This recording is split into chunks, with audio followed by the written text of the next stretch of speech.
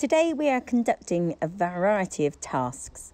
The main objective is to record our eight week weights for our ewes and lambs. Why do we record eight week weights? Well, it gives us an indication of how well that ewe is actually performing, how much milk they are producing, i.e., how well their lambs have grown. We are initially drafting the ewes from the lambs so that we have them separate. It makes it much easier to weigh them. The objective is to draft off all the lambs that are below 16 kilos. Why do we do this? Well, lambs utilise their food much more efficiently the younger they are.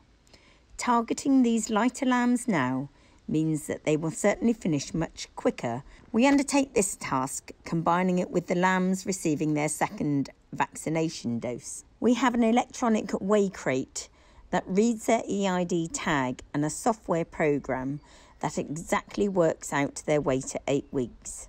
However, just being able to identify your light lambs at this approximate age and then managing them separately will make a vast difference. So, having drafted off our lambs, now all we are doing is just weighing them. They come along into the crate, are weighed and drafted accordingly. And this is our light group that will be weaned and put into another grass paddock with creep.